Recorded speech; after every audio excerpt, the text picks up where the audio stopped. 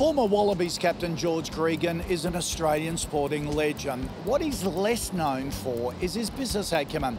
Alongside wife Erica, the young families established the Gregan Group as one of Australia's leading hospitality businesses. KBB's Alex Brophy caught up with the couple to find out how they've done it.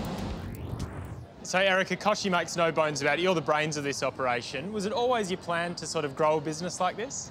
Not this many. Most certainly, I wanted to be in business um, for myself, and I started that in Melbourne. And I think we were looking for a niche, something in the market that was uh, a little bit different. And in those days, espresso bars were different. Now they're they're everywhere, but in those days, they really weren't. Um, and I was looking for a business that I could work all week and on the weekends, bring up a family, and travel to wherever he was with rugby. So that that corporate espresso bar was perfect for that. And how did you identify that first place to open up? It was through friends of ours. Again, a bit of a rugby connection. They owned the building and they had a, a lobby space, and uh, they, they were really open to the idea, and that was, the, I guess, the, the start of uh, our, our, our business.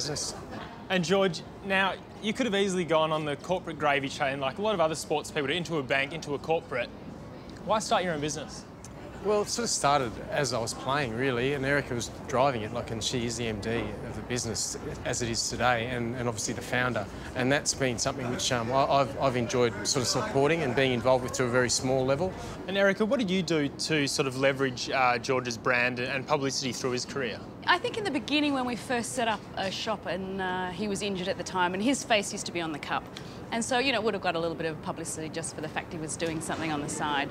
But slowly the GGs have stood for themselves and his face is gone and I think it's a brand itself now. And uh, Sydney know us very well, the corporate market know us very well. And I think that, you know, more and more his image and likeness, etc., has, has been phased out of the company. George, what are the skills you've taken from your rugby career into business?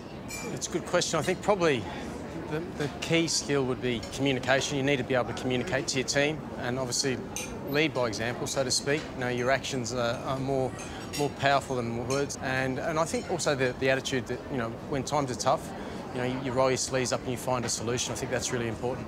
What have been your biggest business challenges along the way? Yeah, I think probably the biggest challenge for us has been growing. There's a period where we went from maybe being three or four stores, then all of a sudden we went beyond five, and then the magic number was 10, and then it's got to 20, and it's so it's growing. So we've, we've, we're just reinvesting all our resources back into the growth. So that's challenging, uh, but it's also an exciting time as well.